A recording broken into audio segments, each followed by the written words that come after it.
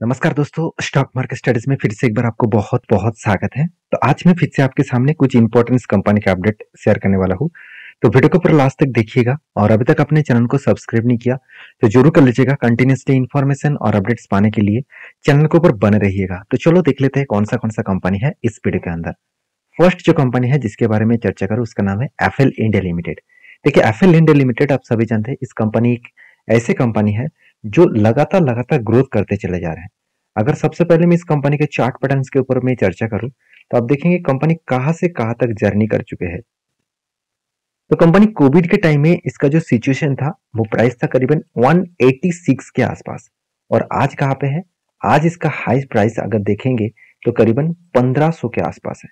तो 186 से 1500 तक जो जर्नी है तो सोचिए कितना बड़ा लंबा सा जर्नी देख चुक, देखने को मिला है। इस कंपनी के तरफ़ से। अगर मैं टॉप लेवल तक इसको मार्किंग करके दूँ तो करीबन 700 परसेंट के आसपास कंपनी रिटर्न जनरेट करके दिया। अभी देखिए इस कंपनी के ऊपर शानदार तरीके से पैटर्न बनने जा रहे हैं। देखिए, मैं प्रीवियस पैटर्न को डिलीट कर रहा हूँ, जो प्रीवियस एक पैटर्न बना था, उसका मुझे शानदार तरीके से टारगेट भी अचीव हुआ। यहाँ पे शोल्डर उसके बाद हेड कम शोल्डर बना था फाइनली ब्रेकआउट है और इसका टारगेट भी अचीव हो चुके हैं। तो देखिए फाइनली यहाँ पे मैं बता दूँ कंपनी के ऊपर जो लेवल्स बना है, उस लेवल को मैं अगर मार्किंग करूँ फिर से ये सारे पॉइंट्स को डिलीट करके मैं एक बार लेवल को मार्किंग करके देता हूँ। फेस एक लेवल जो बना है। वो लेवल देखेंगे तो कंपनी के ऊपर यहाँ पे क्या बना? एक कफ विद हंड्रेड बटन बना। मतलब यहाँ पे एक शानदार तरीके से क्या बना? एक शोल्डर बना और उसके बाद एक हेड बनने उसके बाद एक शोल्डर बनने की तैयारी कर रहे हैं। तो कंपनी के ऊपर एक शानदार तरीके से पैटर्न क्रिएट हो रहा है। अभी तक फाइनलाइज नहीं हुआ, क्योंकि पैटर्न कंप्लीट होने के बाद ही हम लोगों को काम करना है। ऐसे नहीं कि पैटर्न बनने मतलब बनता हुआ दिखने को मिला है तो मैं एंटी ले लूँगा, ऐसे कभी भी मत करिए।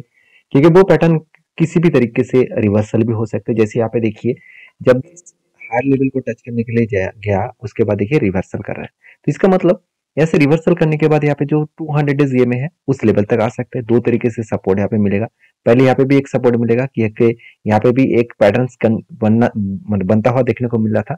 उसको ब्रेकआउट करके ऊपर गया था तो इसी लेवल को वो रिटेस्ट करके वो ऊपर जाने का कोशिश करेंगे। अभी देखा जाएगा कंपनी करता क्या है। सबसे पहले इस कंपनी के ऊपर कुछ परफॉर्मेंस के बारे में चर्चा करूँगा। जैसे आप देखेंगे कंपनी के परफॉर्मेंस के बारे में एक चीज़ आपको नोटिस करना पड़ेगा कि कंपनी का परफॉर्मेंस देखेंगे तो आर जो रिटर्न ऑफ़ इक्विटी है, वो कुछ इस तरीके से देखने को मिला। लास्ट ईयर में सिक्सटीन परसेंट तीन साल में ट्वेंटी फोर परसेंट और पाँच साल में थर्टी थ्री परसेंट तो अलग लेवल का कंपनी का जो एवरेज आर है वो शानदार दिखा।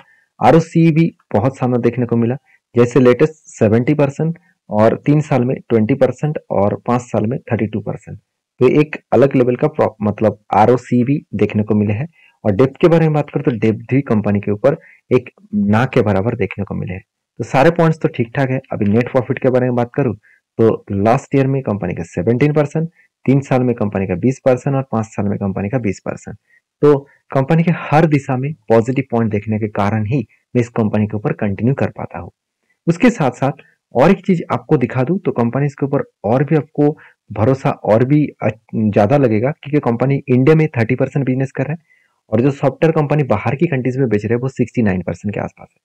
और कंपनी की टोटल बिज़नेस है, वो नाइन्टी टू परसेंट के आसपास, वो भी C P C U business के ऊपर आ रहा है। और non C P C U के ऊपर सेवन परसेंट के आसपास बिज़नेस हो रहा है। तो कंपनी के जो बिज़नेस का जो परसेंटेज है, वो कुछ इस तरीके से देखने को मिला है। अभी अभी ध्यान देना इस चीज़ों को कि कंपनी के ऊपर सबसे बड़ी बात क्या है? कंपनीज़ के ऊपर जो प्रॉफिट एंड लॉस है, वो इस बार क्वार्टरली रिज़ल्ट जो हुआ, वो भी आपको हाईएस्ट सेल्स देखने को मिलेगा। एक्सपेंस को भी कंपनी कंट्रोल में रखे, उस बेसिस में कंपनी नेट प्रॉफिट वो भी लगातार बढ़ता हुआ देखने को मिले। तो जब नेट प्रॉफिट अच्छा खासा ग्रोथ हो रहा है कंपनी का सेल्स बढ़ रहा है, सब कुछ अगर ठीक ठाक है तो उस कंपनी में ग्रोथ होने का चांसेस भी बढ़ जाते हैं। अभी देखिए कंपनी के इन्वेस्टर के बारे में बात करो तो प्रोमोटर से लेकर एफएसडीएस पब्लिक किसी के पास होल्डिंग आपको कम नहीं दिखेगा। उल्टा एफएस ने क्या किया? नौ परसेंट होल्डिंग को बढ़ाकर चौदह परसेंट कर दी मतलब इंस्टीट्यूशन भी कंटिन्यू कर रहा है और एफएसडीएस भी इस कंपनी के ऊपर कंटिन्यू कर रहा है। हर कोई व्यक्ति इस कंपनी के ऊपर कंटिन्यू करना चाहते हैं।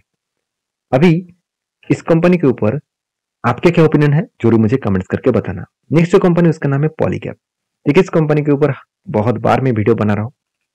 इसलिए मैं कंटिन्यू वीडियो बना रहा हूँ, क्योंकि जो लोगों को मन में जो डाउट है ना, कि इतने बड़े क्रैश हो चुके हैं तो कंपनी खत्म हो जाएगा कंपनी के ऊपर शेयर बेचकर भाग जाते हैं तो उसके लिए मैं एक बात बताना चाहूँगा कि हमेशा अच्छे कंपनी के ऊपर और टॉप लीडर कंपनी के ऊपर सेक्टर का जो लीडर कंपनी है, उसके ऊपर कभी भी आपको ट्वेंटी से थर्टी परसेंट डिस्काउंट मिले तो उसके ऊपर टूट पड़ना।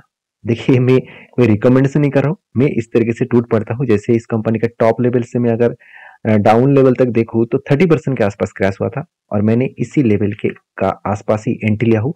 और मैं कंटिन्यू करूँगा। पहले इस लेवल तक यहाँ पे जो गैप है, इस गैप को फिलअप करने के लिए आएँगे। तो गैप फिलअप होगा। तो एंट्री लेवल से अगर मैं इस लेवल के एंट्री लेवल से मैं टारगेट तक देखूँ तो ट्वेंटी टू परसेंट का टारगेट मिलने का चांसेस है। अभी देखिए, कम मिलेगा, किस तरीके से मिलेगा, वो तो पता नहीं, क्योंकि यहाँ से फिर से करेक्शन भी हो सकता है, यहाँ से ऊपर भी जा सकता है, कुछ भी हो सकता है, ये मार्केट है। मार्केट हमेशा इसी तरीके से चलता रहता है। तो कहने का मतलब यह है कि कंपनी के ऊपर जो करेक्शन हुआ, क्या कंपनी के अंदर कुछ गड़बड़ी है? बिल्कुल नहीं।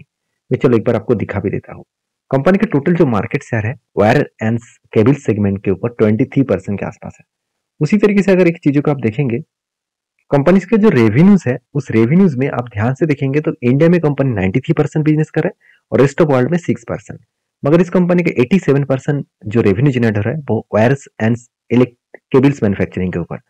और इसका, जो फास्ट मूविंग इलेक्ट्रिक गुड्स मतलब एफ़ e जो सेगमेंट है, जैसे बल्ब हो गया, जैसे मतलब लाइट हो गया, जैसे फ़ैन हो गया इस तरीके से जो कोई भी इलेक्ट्रॉनिक्स गैजेट हो गया तो ये जो प्रोडक्ट्स है उसको एफ़ एम प्रोडक्ट कहा जाता है तो उसके ऊपर 6.6 परसेंट का कंपनी का रेवेन्यू जनरेट हो रहा है। जो एक लीडर प्लेयर है इस फ़ील्ड का तो क्या उस कंपनी डूब जाएगा? पहले ये बात मुझे कमेंट्स करके बताइए। तो कंपनीज़ के ऊपर और एक चीज़ मैं आपको शेयर करूँ तो सबसे पहले कंपनी का क्वार्टर रिज़ल्ट आप देखेंगे जो पिछले सालों की तुलना से इस बार भी कंपनी 3,700 करोड़ से 4,300 करोड़ के आसपास कंपनी का सेल्स किए। एक्सपेंस को भी कंपनी मेंटेन्स किए उसके बाद कंपनी का नेट प्रॉफिट 365 से 417 करोड़ के आसपास कंपनी का प्रॉफिट ग्रोथ देखने को मिले।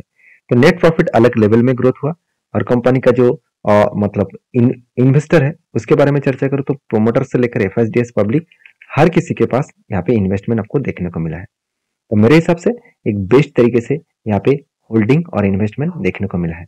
बाकी इस कंपनी के ऊपर आपके क्या ओपिनियन है ज़रूर मुझे कमेंट्स करना। क्योंकि चार्ट पैटर्न जिस तरीके से बना है वो मैं आपके साथ शेयर कर चुका हूँ। नेक्स्ट जो कंपनी उसका नाम है एलटी माइंट्री देखिए एलटी माइंट्री के ऊपर एक लेवल के बारे में चर्चा कर तो एलटी माइंट्री के ऊपर एक बड़ा सा फॉल देखने को मिला। और फॉल कहाँ से देखने को मिला?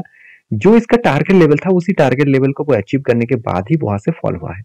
तो टारगेट कहाँ कहाँ पे एंटी था? यहाँ पे देखिए एंटी इसलिए बना था क्योंकि कब बना? उसके बाद एक हैंडल पैटर्न क्रिएट हुआ।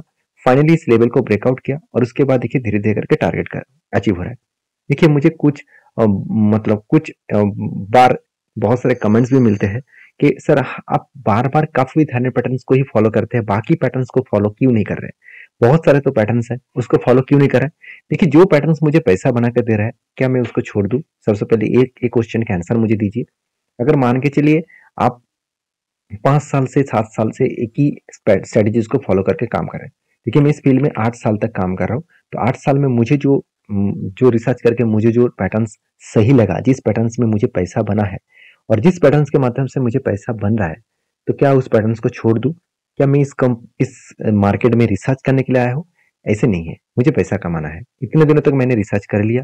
अभी मुझे उसके ऊपर एक ही पैटर्न्स के ऊपर मुझे बार बार एंट्री लेना है और सही तरीके से सारे चीज़ों को स्टडी करके एंट्री लेना है। देखिए ब्रूसली का एक आ, मतलब कमेंट्स मुझे हमेशा अच्छा लगता है।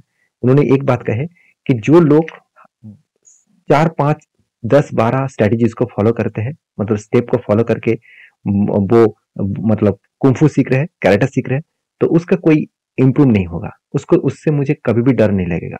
मतलब मैं कभी इसको डरूँगा नहीं। जो व्यक्ति एक ही स्ट्रेटेजीज को सौ बार प्रैक्टिस किया है तो उस व्यक्ति से मैं डरता हूँ, क्योंकि उसका हिट अलग लेवल में होगा, उससे पंगा लेना इतना आसान नहीं होगा। तो मैं बार बार बोलता हूँ, आप एक ही स्ट्रेटेजीज को फॉलो करके काम करिए। देखिए, इतने सारे ज़्यादा चीज़ बोलने का ज़रूरत नहीं, क्योंकि एक आप कहेंगे, सर, ज़्यादा ज्ञान मत दीजिए, मुझे सारे ज्ञान मुझे पता है। तो प्लीज़ आपके हिसाब से ज़रूर काम करिए। तो मुझे जिस तरीके से पैटर्न बन रहा है, उस बेसिस में मैं काम कर रहा हूँ। तो एल एल टी माइंटी के ऊपर एक ही बात कहूँगा इस कंपनी का जो बिज़नेस है, वो नॉर्थ अमेरिका में सबसे ज़्यादा चलता रहता है, उसके बाद यूरोप में, उसके बाद रेस्ट ऑफ़ वर्ल्ड में। तो कंपनी के ऊपर आपके क्या ओपिनियन है, ज़रूर कमेंट्स करके बताना। फ़िलहाल के लिए इस कंपनी के ऊपर कोई टेन नहीं है, क्योंकि जिस तरीके से करेक्शन हुआ, और वो भी रिज़ल्ट आने के बाद तो अभी देखना बाकी है कि कंपनी किस तरीके से नया पैटर्न क्रिएट करता है, नया कोई स्ट्रेटजीज इंप्रूवमेंट करता है, क्योंकि अगर मैं ध्यान से देखूँ इस कंपनी के ऊपर एक लंबा सा क्या बना, एक कप तो बन चुके हैं।